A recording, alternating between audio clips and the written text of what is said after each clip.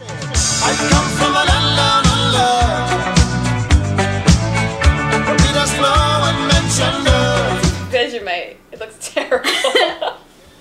Looks It's it's the it's the solid slimy stuff that's at the bottom of beer barrels after they make the beer, and they scrape it out and they make it's hops. So hang on. So I'll read wha- it. what's the appeal? concentrated yeast extract. Smell that. Oh my god. Do you just like they just like wean you on this? You just grow up eating Yeah. this? How do you eat it? Just on your biscuits? On a biscuit. or on toast on sandwiches for lunch.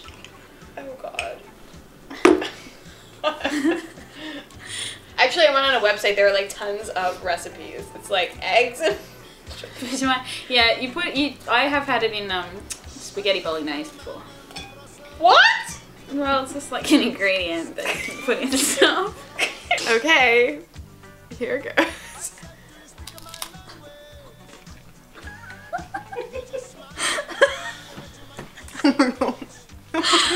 Brilliant.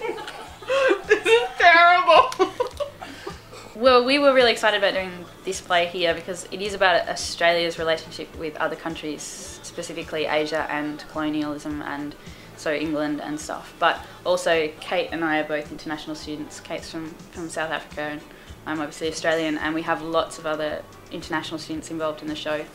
And just being like here, um, all of us being here and trying to work out what that means and the fact that we live here now and it is a very long way from home and um, but maybe this is home now for a lot of us. Maybe we'll move over here and stay here and what does that mean? And that's what zoe does in the play.